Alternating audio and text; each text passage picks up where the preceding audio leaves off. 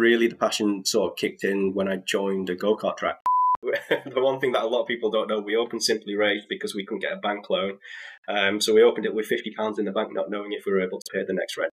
We were actually refused like three different buildings because they didn't understand the business concept as well. Customers were coming in regularly um, because they saw racing drivers starting to use us. Four time touring car champion is uh, Colin Turkington. He's good friends with us. Um, there's been a couple of occasions where he stuck it on pole position just after being at Simply Race, which is great. Very surreal moment when you got Mr. Delara and Mario Andretti just sat next to each other as they come in and you're organising the production.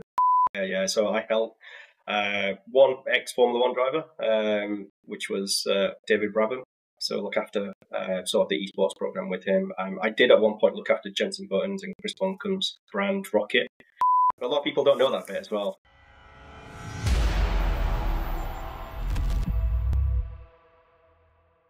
Hello, and welcome to the latest episode of Georgie's Stripping the Dipping podcast. I'm your host, F1 Black. This week's episode will surely go down as one of my favourites. Today's guest, Mike Yau, was at the vanguard of sim racing. So much so, as you heard in the intro, that when he was setting up his business, people had no idea what sim racing was. A decade of hard work has proven his gamble right. So, if you're interested in hearing the story behind one of the UK's leading sim racing venues, frequented by professional drivers, might I add, then this episode's for you. So, without further ado, it's my great pleasure to welcome Mike Yau to the show. Mike, how are you doing? I'm well. Uh, nice to meet you. Really keen to get into what you're doing now in the world of sim racing. Um, but where did it all start? Going back to your first motorsport memories, what were they? Uh, I actually came into motorsport quite late, to be honest with you. Um, I basically, I think the first real memory was 11 1996, Belgium Grand Prix, cars flying off turn one uh, and crashing due to the wet weather. Um, and then really the passion sort of kicked in when I joined a go kart track um, back in Manchester. So I actually was at uni at the time um, and did part time work there.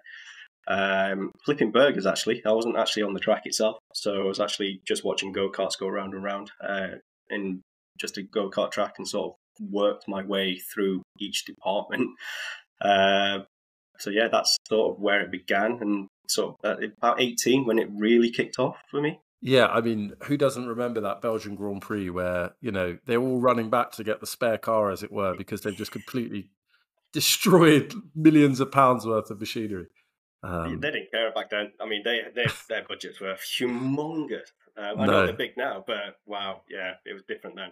Yeah, I think back then you'd have like, oh, here's my uh, practice engine, here's my qualifying engine. Okay, I'll put a new engine in for the race. So yeah, it uh, didn't matter back then. no, exactly. It's it's interesting that you talk about coming to motorsport late and uh, and your sort of route into it. Yeah, I was looking at kind of your CV and and and that kart track was what Daytona Motorsport. Is that right? It was, yeah. So it was actually in Manchester, and hmm. literally down the road from uh, a stone throw away from Old Trafford, Manchester United football ground. Hmm. Um, I got a part-time job just because I actually just needed one. I, I was working in a bar at the time, which um, one of my dad's friends owned, um, and I just needed to top up my income. So essentially, I was working, I think, Saturday evenings and Friday evenings uh, oh sorry, it was Saturday and Sunday at the restaurant. So I'd finish at midnight and then go back in at 10 a.m. Um, at the restaurant just to do bar work. Um, and also push dim sum trolleys as well. So my background's very peculiar once we get back in, once we really delve into it a bit. Um, and then I think at the time I'd met my uh, soon to be wife. Um, we decided that I needed to sort of up my income and found Daytona. Uh, I think I applied for the receptionist role actually. So front of house. I just I didn't want to be anywhere near catering because through through growing up, uh, my family had restaurants and takeaways, and uh, every time every weekend came, I really didn't have another life but just to work and help the family out, um, which is fine. And it, it, sort of grounded me to where um, and what I wanted to do. Actually, grounded me from where I am now to what I wanted to do. Um, and then through Daytona, basically did they brought me in because of the catering background, of course. I was flipping burgers. Uh, I was wearing um, the checkered flag trousers as well to go with it, and the uniform uh, and a hat. Uh, and yeah, just serving drinks and serving serving the customers. So essentially, uh, I, will always remember that job, and I'll always remember the owner because he helped me out throughout that period. The way that I asked for a job to basically move through the departments was actually um, it was late at night, an event had finished. The owner was there, sat there having a beer. I served him, and he asked me what I wanted to do with my life, which is always interesting when someone asks you that. And I essentially just said, "Yeah, I want to. I want to learn this business. I want to go through every department, and I want to be on track. I want to be there. I want to be a marshal. I want to wave a flag. Uh, I want to then look at the reception area. Then I actually went through this period where I went through everything engineering, learned how to rebuild uh, a car engine, learned about the sprockets and the clutch, and understanding sort of why certain things did what they did on the kart.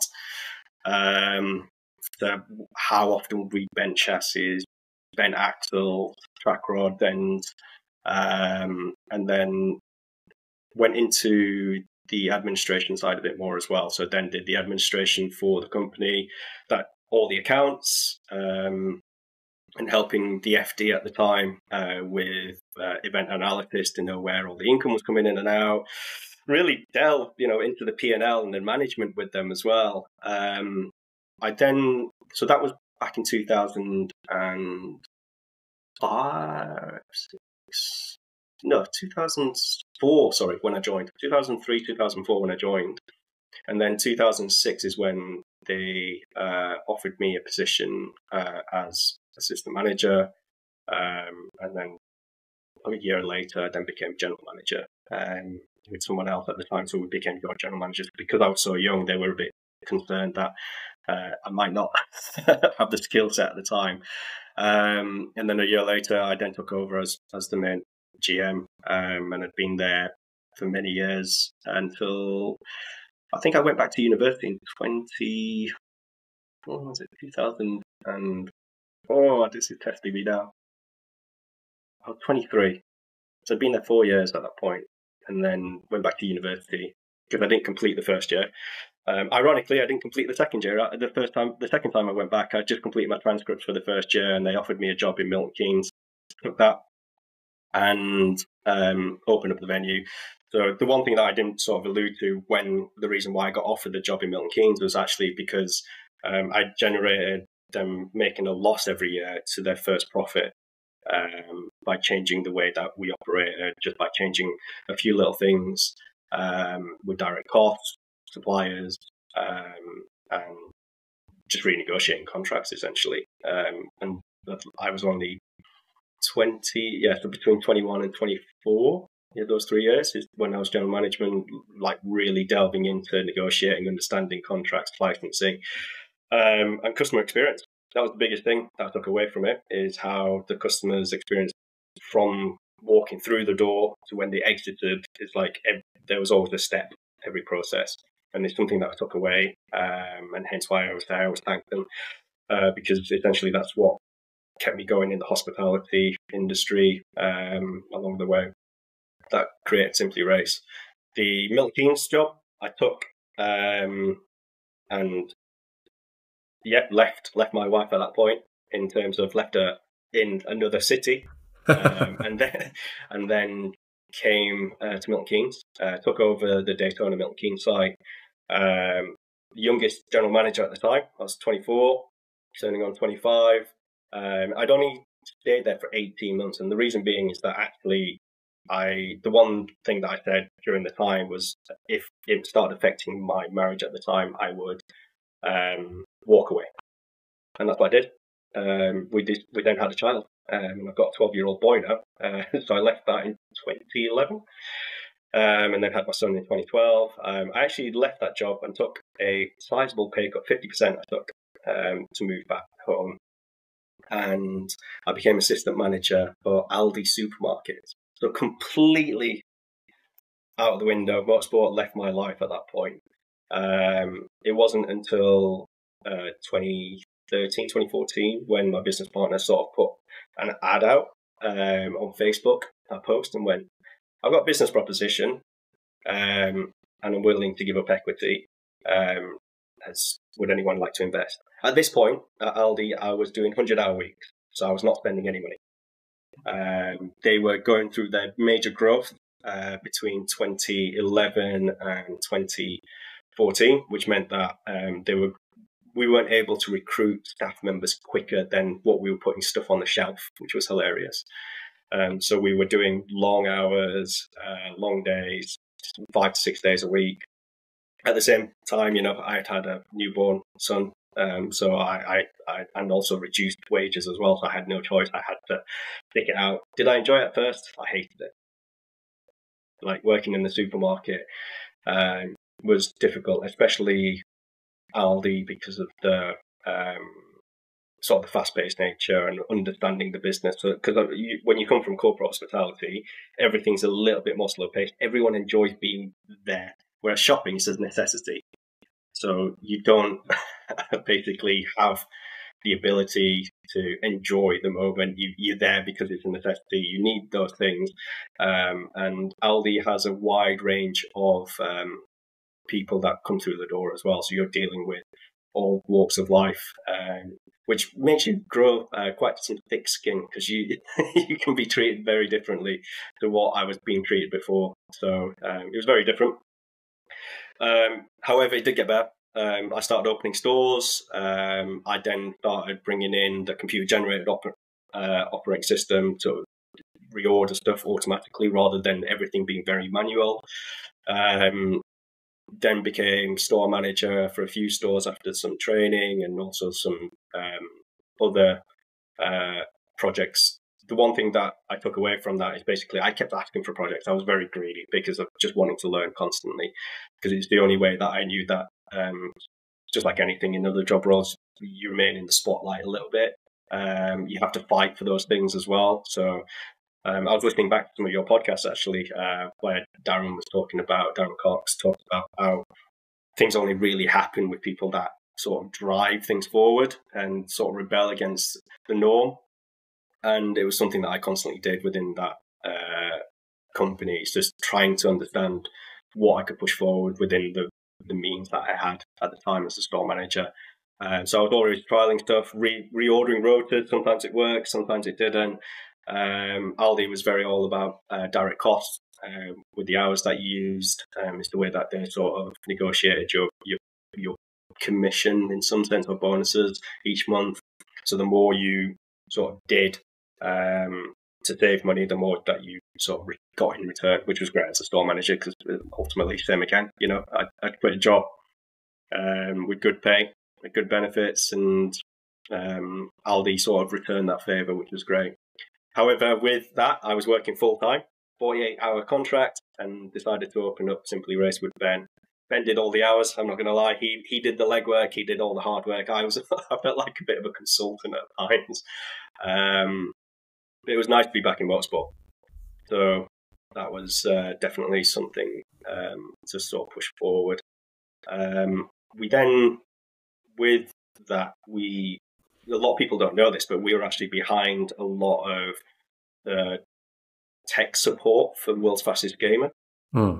Um, so if you if you delve into the Simply Race website and search World's Fastest Gamer, you'll know that the team behind it was actually Ben and some colleagues as well from Simply Race. So we actually were running that in the background. We were running the Sims, we were running the um, rFactor 2 program uh, just because we ran it at the venue as well.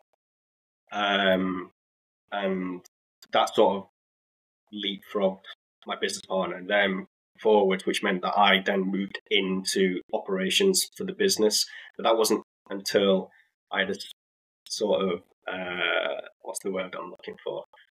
Time out of Aldi and going into haberdashery at Hobbycraft as a territory manager, uh, which was interesting.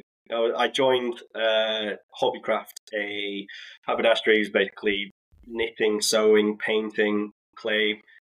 Um, and also, I joined as the slime phase was in. So I don't know if you ever remember that. That was basically PVA glue, but hundreds of it, and kids making little slime pots of different colours, beads, glitter. Yeah, I, I was part of that, and parents were going mental coming in buying five litre bottles of PVA glue. Sounds like chaos. As a parent, I'm not sure I can endorse this. I don't want any of PVA glue in my house. Keep it at Hobbycraft. Yeah, yeah, it was uh, it was quite funny, but it, I think people were actually selling it as well. So people were being very entrepreneurial at that point. Ah. Um, but it was good to see. Um, it, it definitely taught me um, some business lessons whilst I was there in terms of they, they managed very uh, closely on sort of the stock um, rotation and also with the difference in what was going on um, at Etsy, for example, or Pinterest. They were trying to follow those particular ideas. And it's mm. no different than sort of influencers in motorsport. So people are following what Red Bull are doing, for example, on their particular car and trying to copy them. Back in the day, it used to be Mercedes, and it, it's, it's the same thing. It, all it is, it's just a different industry, uh, different business, but it essentially comes down to the bottom line. What I'm hearing here is like a load of hard work, dedication, and a desire to learn. So, where do you think that comes from in you? Uh, I think uh, probably just growing up, to be honest with you. Um, my a lot of people think that where I came from was, you know, I had a decent education and, and I grew up in a nice area and whatnot, but actually it's a bit removed from the truth. I we lost our home back in when I was ten. Um, we lived in a hostel for a few months and in different locations. Um, one bedroom. Um, there was five kids and my mom. Um, my dad was working away, trying to just make ends meet. Um, we moved, I think it was two or three different hostels, three different hostels because we had a temporary hostel at one point as well. Uh, missed I missed school for two to three months as well, just because we weren't able to register in certain schools. Um, and then we eventually got a council house, three bedrooms for six of us uh, to live in um, at the time. So my my dad lived away, um, working for a company, and then in restaurants and my mum basically took care of us at the time. Uh, so we we had the muddle through. So hence why I never want to go back to that point in my life, um, and just sort of the reason for learning was trying to help. And I wasn't. I'm very. I'm not the greatest academic. However, I'm I'm very hands on, so I will still try and learn as much as I can. Um, but I'll try and read as well a little bit as much as I can as well, taking what I can. But in regards to sort of where I think it came from. A lot of it comes from my dad, just pushing on. It's essentially he had six kids. I know I've got three sisters, two brothers. Um, all very fortunate. We all have good good jobs. We've all worked, and we're very competitive. Um, it's just a cultural thing, I think. Um, super competitive. We sort of yeah talk about everything, but yeah, it ultimately comes down to who who can who can win. I don't know why. It's just uh, something we've always had, um, and just desire. Just uh, yeah, we're not greedy, and I think that's the biggest thing is that we haven't been greedy, and it's something that we carry on in Simply Race as well. Is we we're there to make a living, but we're not there to like we're not there to make millions. I'm I'm not too concerned about that right now. As long as I'm comfortable, I don't have to worry about um, where the next paycheck comes from, and just want to just just remain happy, as it were. I think that's that's probably the best way to explain it. No, a lot of people don't know that bit as well. A lot of people don't know about my my growing up. Well, thanks for sharing it, and I think our upbringings do have a huge impact on us. And you know, every guest we've had, there's been you know often something that may, gives them a drive that is in some ways like superhuman, or that that propels them to where they end up. Um, so you before we talk about Simply Race, you mentioned that you end of a shift, end of an event, the owner of Daytona was sort of saying, "Oh, what, what do you want to do?" And you said, oh, "I want to learn this business." Was he was he the sort of guy that was just asking that question out of curiosity, or do you think he sort of saw something in you and you know clearly it sounds like that was your sort of inverted commas apprenticeship so like yeah how how did you have the audacity to say i want to learn this business and what do you think made him say yes i think he could tell that i was either going to leave or learn, one of the two. so he decided, uh, well, well, uh, he said uh, at the time it was Jolyon. I always remember Jolyon, great guy, still friends with him. He basically told him that he needs to put me in different departments and see how I get on. That was it. So yeah, I think it was just me being a little bit forthright, just saying I want I, I want to do something different. I don't want to be stuck behind here. I mean, I'm I'm wasted behind here. Um, and yeah, lucky on me, it's just yeah, just push forward. And you, you do have to go out and, and ask and take it um, if you want something. And I think that's why I did what I did. Um, I just said it. I think I was just like, I, this is my opportunity. It's the only time I'm going to get. So I just said it. No, of course. And I think often the moments we regret is when we don't say it.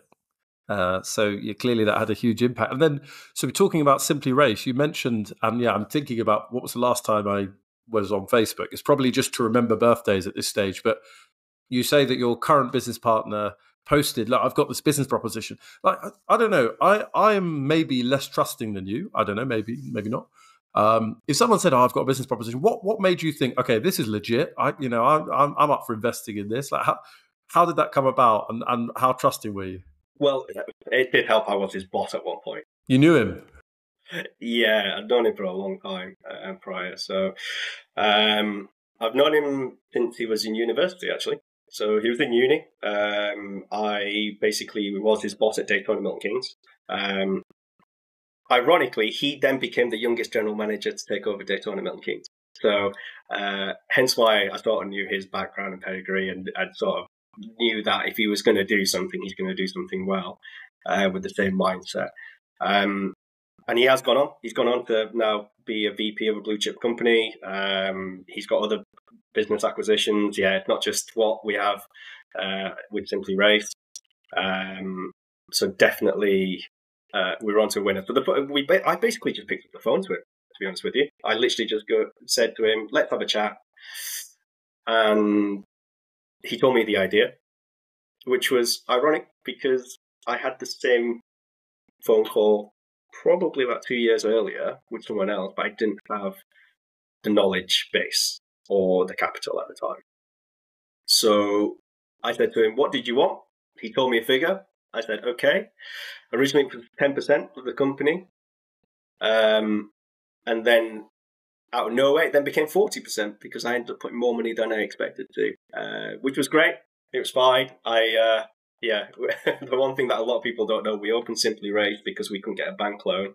Um, so we opened it with £50 in the bank, not knowing if we were able to pay the next rent. Wow. Also... would you describe yourself as because it sounds like you're putting in the hard work, but would you also describe yourself as someone that like backs yourself? Because that's clearly like a bit of a gamble, albeit with your effort on the table. Yeah, I mean, I I, I trusted Ben quite a lot. Um, don't get me wrong, my the wife at the time, she she said to me, "Are you sure? You really sure this is going to work?" I was like, "Yeah, I've got yeah, it's fine, it's fine, it'll work, it'll work." Um, and it was it was definitely a tight time. We, we I actually put all of the what I think I put part of the assets on my house against my house at the time, uh, which was a huge gamble because they needed a guarantor, and I didn't have the working capital, and plus the business not having any background in numbers or anything like that. We were we're two fresh faced guys just starting up something that no one understood as well. We were actually refused like three different buildings because they didn't understand the business concept as well. So to, to you now, you, you, may be thinking, really, you don't understand sim racing, but actually, when you think 2014, 10 years ago, not many people did. There was less than 10 simulator venues in the UK, across the UK as well. Um, and the way that I used to describe it is early 80s, where people really didn't understand go karting. So go karting had been around for years, but people only ever thought it was for the really, really rich. Uh, didn't know where to go to go and get a go kart or a license to race that go kart. Um, and sim racing was exactly in that same um, sort of era. Um, it's only COVID sort of coming around where it sort of propelled it into the faces of everyone with Le Mans Virtual um, and, and, sort of the other events. Apologies, dog barking in the background. Um, Luckily, I didn't hear it. So, you know, we've oh. introduced your dog. Brilliant. Welcome. What's the name of your dog? J- Jace. Jace. Um, okay. Apologies, though. I, am glad that you can hear that. Yeah. Um, and yeah, so basically, in COVID sort of helped sort of propel that. But at the same time, Simply Race was closed, so it's a very difficult time um, for us. Um, but yeah, that's sort of where Ben and I sort of got together and, and started the brand. Um, it started off with 10 simulators as well in Milton Keynes in a mm. 3,000 square foot building. So it was quite empty. were they all so, together or did you space them out a bit? Or oh, there, there, there, were there were five on each side because it was mm. a hmm. rectangular building. Um, but when you walked in, it was super imposing. Yeah, mm. it hmm. was empty. I mean, we had pictures on the walls as much as we could fill. We stole uh, home, his mum's sofa, a three seater and a two seater sofa. We bought some IKEA tub chairs um, and some little coffee tables. But and and we, I know Ben built the podium as well. So, but it was it was sparse. I mean, yeah, it was. It basically we we opened it with uh, what we had mm. and just tried to make it work. And uh, thankfully, it was received well. Um, Otherwise, I won't be here talking about it. So let me ask you a question here, right? Because clearly, yeah, you said people were sort of uh, quizzical about this idea and you know weren't sure about it. Look, I grew up in like I born in the eighties, grew up in the nineties. I can still remember Sega Rally, yeah, Toyota Celica, jumping over the little thing and it says start. You know, you put your fifty p in. So what elevates that into sim racing? What what kind of is the standard that says I'm no longer in a kind of Sega Park or an arcade? Look, see, I'm showing my age, uh, and I'm actually in a sim racing venue. Yeah, so that was always the difficult bit at the very start, even with customers. Um, we had a customer, um, but ironically, they were at a Porsche uh, event, um, and they said that they queried a birthday party, which was, I think at the time we were charging £13.50 per child for a an hour party. And he came back to me and said, "Oh, you're you're very expensive," and I had to sort of allude to the fact that we weren't. You're not paying for an arcade machine. You're not. You you are paying for the ability to race a car and track that you wouldn't be able to in real life. Um, and being able to experience that differently. And we we had to sort of remind people that you, you would have to drive on the simulators as if you were driving a real car. Otherwise, um, if you kept saying it was a game in your head, um, you wouldn't enjoy the experience because you just be expectancy to go around a corner with it on rails, um, like you would do on a Daytona arcade machine, for example, when you're doing the ovals, etc., like that, which is quite funny. So, um, it was definitely educating the public. It was definitely the hardest bit, especially for the first few years. Once we got to a position two years in, we sort of got more and more acceptance, and also customers were becoming in regularly um, because they saw racing drivers start to use us. So they, were, you know, the racing drivers were coming in, real world ones, and actually using us for muscle memory, just for the tracks, they didn't know if they hadn't been to a certain circuit before, they would practice with us and then head off. And we still get that to, the, to this day. We have a lot of people come to the centre just to do some muscle memory. Um, you're never going to get it exact because, of course, you can't mimic inertia. You know, you can have motion, but there's certain elements that you're never going to get with the G forces. And that is something that we sort of play on a little bit. We, we use real world drivers to help with our R and D with the setups of the sims to make sure they feel as much uh, or as close as they could possibly could do with the real cars. And it's something that we sort of push forward as well in our sort of marketing campaigns, let them know that we do work with real world teams, real world drivers, and what you're getting is real world data out there out the these simulators these days as well. So it's a lot lot closer than it used to be. However, the other flip side of it is that we also make sure that when you do come and drive a sim, it's not 100% going to be mm. 100% accurate because if it is, you probably won't enjoy the experience because you probably always put it in a wall. So we, we do make very safe sort of um, setups on, on the actual sim rigs themselves to make sure the public are enjoying them because we are mass market rather than uh, very uh, ISO and F, which is sort of more to do with driver performance and development. No, of course. And like, so my wife surprised me for my birthday. I won't say the year that I'm celebrating, but it was earlier this month. We went to the F1 arcade down in like Bank, St Paul's in London. And yeah, the five different modes you can be on. And I went with my two young sons as well, who are six and nine. So six year old not quite reaching the pedal, but doing his best. Um, and yeah, you could have it on the kind of easiest setting and it would pretty much be on rails. But as soon as you start moving up, like the thing that got me was putting my foot down out of a corner. If I was not very, very careful, I would just spin immediately. Like it would just spin up. So you're right. Like it must be painfully irritating to have the setting on exactly what Lewis Hamilton feels under his right foot. I don't know. Yeah.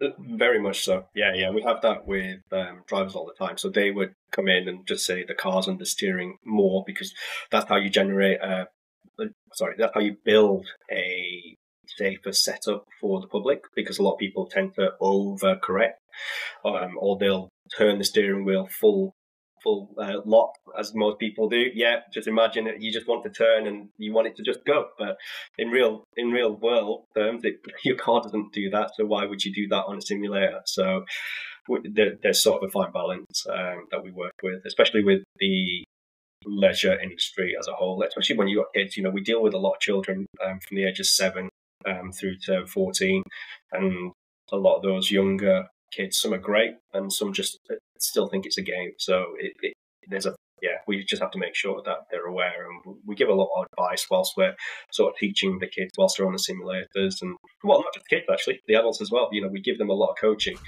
and yeah, that's definitely something. You know, people don't listen to uh, their peers, but sometimes they'll listen to us because it makes more sense when we're telling them. Yeah, like I think I'm probably the sort of person that would be like, yeah, yeah, whatever, I'll just do it. And then, yeah, it took. We had, um I think, five races. It's probably like a standard sort of F1 sim package. And by the final race, I'd had I had it on pro, and I was making mistakes. I was I was catching the pack, and I was there, and then I just make a quick mistake. But I know for a fact that if someone had said, "Oh, do be careful," like the first time I sat down to do it, I would just have not listened and and driven off. So you mentioned that you had 10 simulators when you started and am i right in thinking this was in this is in milton keynes right? Or have i made that up? Yeah so that's right. Yeah so you're in the motorsport triangle you start with 10 sims. Um, you talked also about like you were thinking when you're at daytona about the experience from when they walk in to when they walk out so can you describe that experience now are you in the same venue how's it changed and, and what is it like as you walk in yeah, we actually moved out of that particular um, unit in 2020 December. So we we gave the keys back because the landlords um, during COVID actually increased our rent by 25 percent. so we, we didn't have a choice. We were like, okay. Um, and at the same time, when our rent review was due, um, I decided to go out because we had a break clause anyway. So we thought, actually, year six, we could just walk away if we don't, if we're not happy anymore. Luckily, the guys over at 12th Street, which is central Milton Keynes, we're next to Ski Centre, we're opposite Pop World, uh, a nightclub, which is sort of good and bad, I guess. Um, we've got the theatre, we've actually got the shopping centre near us, so we get a lot of passing trade. Um, so we decided to move, and we actually moved to central Milton Keynes and, and open the door, reopen the doors in May 21. Yep, 2021. Um, and then from there, we haven't looked back. That the experience itself, um, you come into the venue, you're greeted at the desk immediately from one of the members of the staff, and they guide you through everything from the beginning to the end. So they'll ask you to sign in. Um, we don't take many details, but your name, your email, we don't even take unless you want your email, uh, sorry, all your data sent out. Um, otherwise, you just put your full name. So you just put your first and last name, and we don't take anything else. Um, the reason for that is your lap times are then allocated to your name and your driver profile, as it were. Um, you then jump onto the website at simplyrace.co.uk, click on lap data. You then type your name in that you gave to us, and every single lap that you've ever completed at the venue since 2016 in September, we have all this data, um, is now available. And on top of that, if you click the little graph that's next to your name, it will give you your telemetry data. So it'll give you your speed through the corners, um, your braking, your steering input, your acceleration input um, on your pedals. And also, it'll compare your lap against the best lap time ever in that car and track combination as well. So we we provide all the data available from the platform, um, and what we do whilst we're the drivers are on site is basically teach you how to um, go back out. So you'll do a 20 minute session, for example. That'll cost you 11.50. However, if you want to go out for another 20 minutes, it won't cost you another 11.50. It'll cost you 9.50. Um, and then the price goes down the more time you take. So it's 26.50 an hour, which is less like less than half the price of go karting. Um, and we break up to three 20 minute segments. So you come in, you have your session, you come off, the race director uh, or the other member of staff will come to you, ask you if you enjoyed it. If you enjoyed it, you can either carry on with the car and track combination you've got, or we will actually change that car and track combination if you're struggling, or if you found it too easy, we'll, we'll, we'll up the ante, as it were. Throughout that period, we we would be watching each of the drivers to just double check they're okay, they're enjoying themselves, they're making sure that um, it's almost like you feel like you're being uh, looked after by an engineer throughout. You know, someone's there to make sure that um, you're well fed, well watered, and also you're being you're, you're being taught how to drive the simulators in a manner that makes you enjoy it and go quicker at the same time.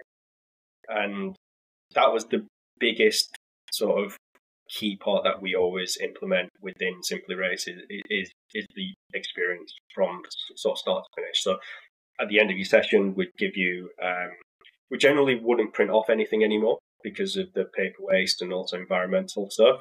Um, but what we do, do is, sort of bring up the website on. We've got uh, two 65 inch screens behind the desk and also two 75 inch um, monitors up on the wall. So we'd actually bring your data up so you can compare against um, the other drivers, um, and sort of teach you how to sort of read the telemetry data that's coming out as well. Um, we have a lot of drivers come back just to beat their lap time. That purely that's what they come down for. They don't actually come for like uh, trying to beat their mate, as it were. It was always just about about the lap time. So you tend to have a lot of customers come in driving one particular car, one particular track, and they'll just do it for an hour. Nurburgring is probably the worst for it though, because you you have to have a lot of time. So when you're driving yeah. a full Nurburgring circuit, Nordschleife, um, we uh, we actually run uh, a Monday night session where it's just two hours straight. You don't you can stop when you want, but you literally just have two hours just to just pound laps. And a lot of drivers come to us to do their site recce or their lap um, before they head out to the Nurburgring themselves in their real cars. So that, that's one thing a lot of people don't know. That's fascinating. And I was thinking earlier when you were saying about that data that it would make me obsessed. You, you are a very smart guy. Uh, you know, like repeat custom, like the percentage must be incredible. Um, so, so you mentioned having some actual professional drivers, uh, particularly in the early days, or as you built through, coming and just using it for muscle memory. Would there were there any that you know you could share the name of that we might have heard of, or are you, is it kind of oh, like yeah, keep it quiet? Yeah. no, no, no. Uh, current existing British touring car, um, four-time touring car champion is uh, Colin Turkington. He's good friends with us. Wow. He he comes down periodically, probably a week before he's due to be on track. Um, Grant, who's the general manager who looks after the venue on our behalf, he he is essentially his data engineer for his practice sessions. So when he wants to make a particular change on the car, because we have his three series um, within the simulator. So we we had it built previously, but now Studio 397 actually created the actual mod, oh, not the mod, the actual car itself. Sorry. Um, so he can make intricate details, toe, camber, um, suspension rebound, um, and power power bands as well. So we can sort of give him less or more boost on the hybrid, um, on the push to push to pass button. So what Grant does with Colin is, quite detailed. Um, they they sit down, they analyze what track they've got coming up, they analyze the weather, and then they'll set up the server based on uh, temperatures and the weather, and also track temp as well, so to make sure that we're sort of mimicking everything that could possibly um, have out there. Um, there's been a couple of occasions where he stuck it on pole position just after being at Simply Race, which is great. Um, and he modified the car in real world to be the same feeling as you got on the sim as well. So it, yeah, it, it does work. It just um, you need to hear it from the horse's mouth though, because he does come to, to, us quite a bit. Um, so if you, there is a, a YouTube um, video somewhere. So if you sort of search it, Colin Turkington, Simply Race ITV, um, it should it should pop up. Oh, we'll definitely look that up. And I'm obsessed uh, with uh, your venue now. And uh, so my co-host Dens is a bit of a sim racer. He's going to be offended that I say a bit of a sim racer. He's sort of won, I think, the Daytona 24. He's won his class in Le Mans. He was recently invited to the sort of uh, AMG Mercedes. I'm going to not do it justice, but basically had a sim racing event. He was in the sort of second division and, and won won that race. So he, so I'm going to say to him, look, right, let's let's drive up to Milton Keynes, and uh, you know, I, he'll smash me, but you know, I'll at least wind him up on the way there. Um, so, like, tell us a bit about. Is, am I saying is, is it AK Esports or is it pronounced altogether? It's an Italian company, but you're the UK CEO. Is that right? Yeah. So AK Esports um, is a global um, brand. Um, so Alessio um, is sort of the group CEO. Um, I head up the UK arm um, with the London office. So the Italian office is Bergamo, um, but we now got a North America office with Dallara. So we, we run events with them. So we signed a contract uh, or inaugurate uh, the company, sorry, in May. So just before the Indy 500. So I was out there with them, um, sort of to help um, with production and also the setup and sorting out everything. Um, very surreal moment when you got Mr. Dallara and Mario Andretti just sat next to each other as they come in, and you're organising the production with the commentators, etc. as well. So really great experience. Indy 500. I mean, if you ever got an event that you want to tick off that bucket list, um, please do because it was it was something else. Um, the one thing that I did do was not hospitality. I actually, you know, um, got the offer to go on a grid walk and whatnot. I actually gave it to the commentator, which was great because it was a good experience for him. Um, and I did it like a spectator.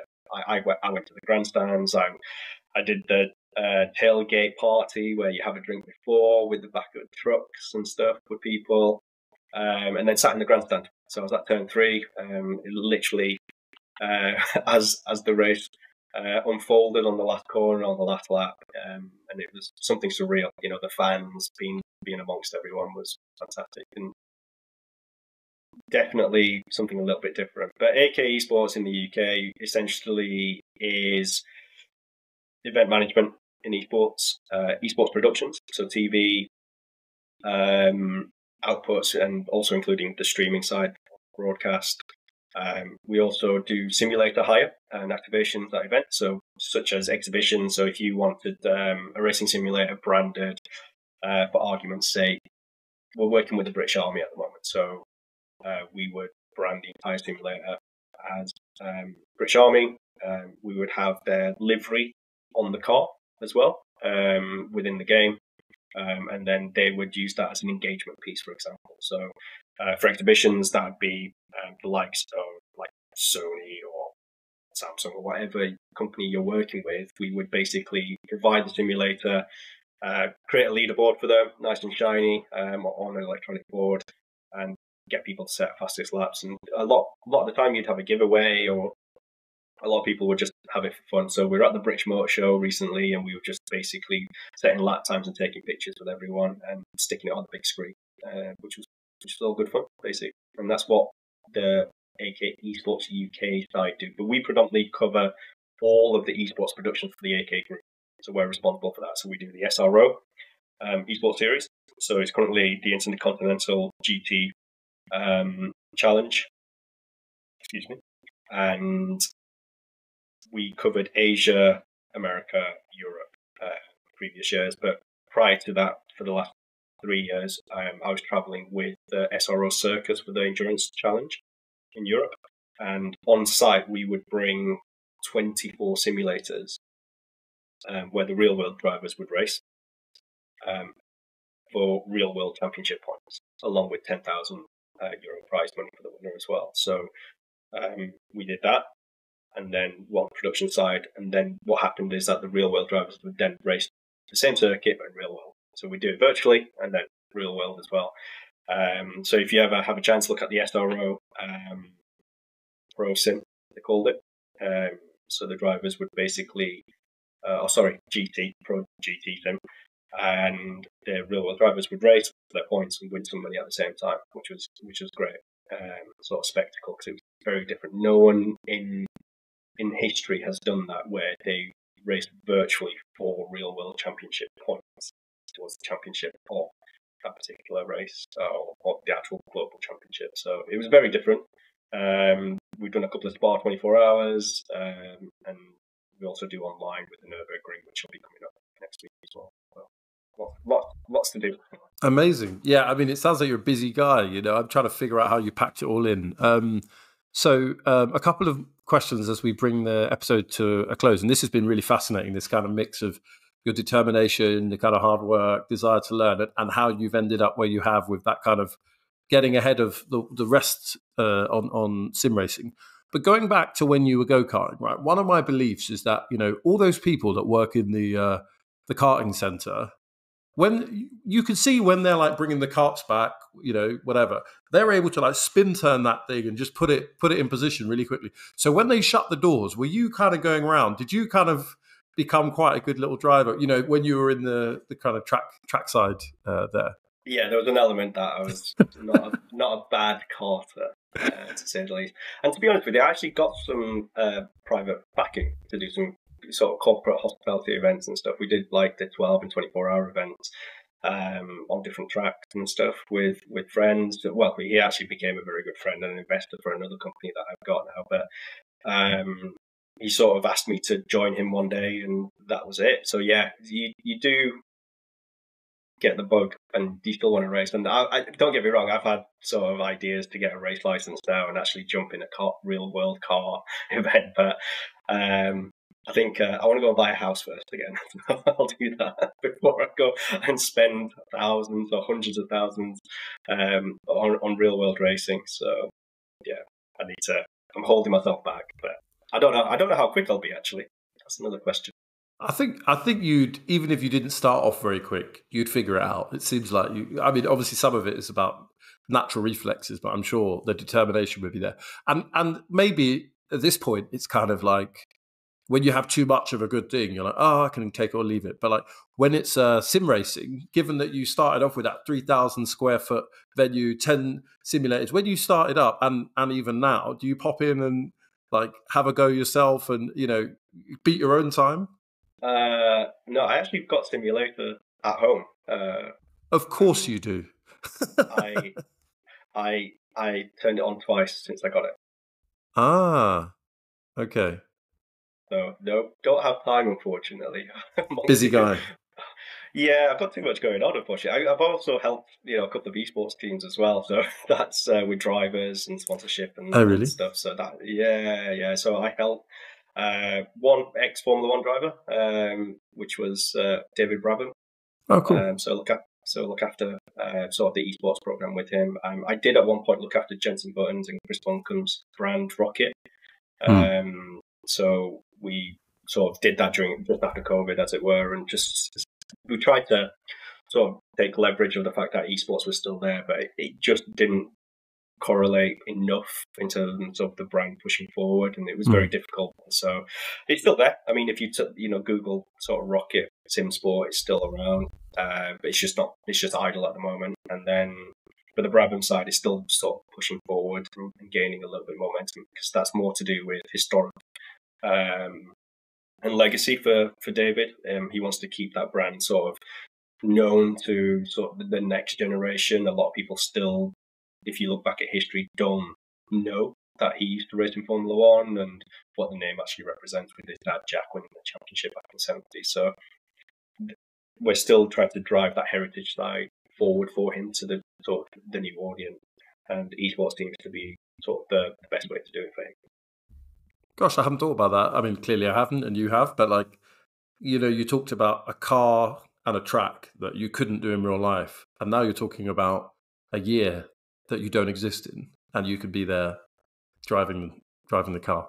That's that's incredible. Um, before I, we ask our sort of usual end of interview question, and it seems like you've been doing your research, so uh, you know uh, I'm intrigued about your answer.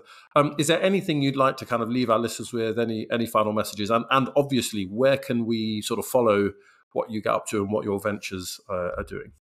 Uh, I haven't got really any particular final message for the audience itself. I think uh, the one thing I'd say is if you want to get into motorsport, there are other different avenues. You don't have to be the driver. You can be an engineer. If you can't be an engineer because of you're not great at maths. There's the other side of it. You know, you've got the content creation, you've got uh, graphic design. You know, a lot of people love the fact that you can design an entire livery and have that placed upon a car. Um, one one person in particular, Joyce Liveries, for example, he races in different categories, BMW or the Fun Cup, which is sort of the VW Beetles that race around in endurance series. You've he designed liveries and he sort of was able to then afford to be able to go racing because of it. You know, he's wrapping people's cars, which is something that is, you know, a different type of business within motorsport. Um, you got the administration if you want to go become an ASN. So if you want to go and work for Motorsport UK, you can um, apply to be a, you know one of the sort of stewards, um, clerk of the course, and still be involved. I mean, if you want to do it voluntary and you're happy doing that, you can become a marshal as well. You know, everyone um, talks about the Orange Army and how they're sort of without them, you you can't really go racing as well. So you know, there there are other means to get into motorsport, and and for myself, I did it very differently and very late on. You know, I've come in virtually to then go into the real world. So I help um, real world drivers with sort of sponsorship and acquisitions as and when I can, um, but also connecting brands as well that would look at real world motorsport, but they wouldn't look at virtual, and, and the other way around. You know, there are certain brands that probably wouldn't you wouldn't think of coming into the real world of motorsport um, that are sort of breaking into it now. Um, but yeah, that that's sort of the only thing I can probably say um, for people to take away from this particular episode. I hope. Mm, yeah, hope that hopefully that helps. No, brilliant, and and everyone get down Milton Keynes. You say it was 12th Street? Yeah, 12th Street. Um, I'm not sure if I should say anything. I'm not signed a contract yet, but I'm opening another venue. Okay. Well, uh, yeah. Dot dot dot. I've just told you. Yeah, dot dot dot. Um, but uh, it uh, it should be I hope, open before the end of the year. So, okay. Uh, so yeah, look out for, for that stuff on uh, on our socials. Um, but yeah, if you ever want to follow what I'm getting up to, it's Mike Yau Eight on Instagram. I'm terrible with Instagram in that I have one with uh, linked to my sort of account, but I'm always on Twitter or X. I'm never on Instagram, and then there are all these DMs that I don't reply to. Uh, there was a chap that we interviewed who said, "Oh yeah, would you, you know I might have some friends coming around the Williams factory, and I left him unread for a month. And I was, ah, damn it. So I will be better on Instagram. At least you'll get one follower from this, and I'm sure you'll get a few more as well. Um, so it's come to the moment because you're you're a reluctant caterer, right? Maybe that could be like your third autobiography. You know, you kind of I don't want to do catering. Ended up, you described it as flipping burgers. Uh, start that was your first job in motorsport, I guess. I take yeah. it that I mean in motorsport, I've been to a few go kart tracks. The hot dog seems to be the key staple. Was there the slice of pizza, or was that a little bit too sophisticated for the venue? Oh no, definitely not. We we served like beef stroganoff and oh yeah, hot pots and all sorts of different. Okay, so no, no, no, it wasn't. Uh, we actually only got a hot dog machine quite late on as well. Thinking about it, so. you guys were too too hearty, too kind of like you know earnest in your in the offer. So I guess then you are a culinary expert. I've undersold who you are, you know. So I, occasionally you'll eat you'll eat pizza. I take it. Oh yeah, I had one the other day. There we go. So question, and you know Mario Andretti, so you know he'll be listening. Pineapple on pizza, yes or no? Yes. Wow. You said that with uh, conviction. Is that something you stand by? I stand by it, but I haven't had it for a long time, probably about 10 years, but I'm not bothered. It's a fruit, just enjoy it. there you go. It's a fruit, just enjoy it. That feels like a strapline. We need to have that somewhere. Well, look, Mike, it's been a real pleasure to have you on the show thank you so much, guys. Um, I, I, think you'll agree that it's been a fantastic episode. And if you do, then drop us a, a thumbs up or a five star review. Uh, I don't even know if they have that anymore because I'm stuck in 2009, but that's me. But wherever you are, give us your comments. Come and find us at Strip the Dip on all your social media delights. You'll see I won't reply to you on Instagram, but on X, I'll be straight straight in your mentions.